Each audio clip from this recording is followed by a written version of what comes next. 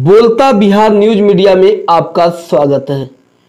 तेघरा में 8 अक्टूबर शनिवार से ही तेघरा प्रखंड के विभिन्न क्षेत्रों में आशा कार्यकर्ताओं द्वारा 25 से 30 घर पहुंचकर कुष्ठ रोगियों की पहचान की जा रही है, जिसके तहत प्रखंड के सभी आशा कार्यकर्ता, पुरुष कार्यकर्ता का 241 टीम घर घर जाकर कुष्ठ रोगी की पहचान कर रही है।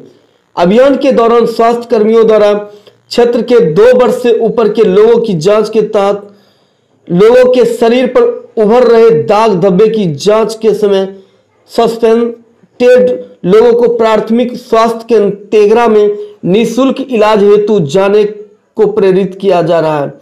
प्रभारी चिकित्सा पदाधिकारी डॉक्टर रामकृष्ण एवं स्वास्थ्य प्रबंधक संजय कुमार ने बताया कि कुष्ठ रोगियों की खोजी अभियान के तहत 241 टीम में आशा कार्यकर्ता के साथ पुरुष कार्यकर्ता कुष्ठ रोगी की खोज में घर घर जाकर पहचान कर रही हैं।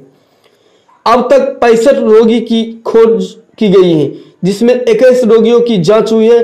उन्होंने बताया कि सभी रोगियों को निशुल्क इलाज प्राथमिकी स्वास्थ्य केंद्र के माध्यम से किया जाएगा। उन्होंने लोगों से अपील करते हुए कहा कि जब भी आशा और स्वास्थ्यकर्मी घर जाए, जाँच के लिए पहुँचे तो उनका सहयोग अवश्य करें। तेगरा से अशोक कुमार ठाकुर की रिपोर्ट।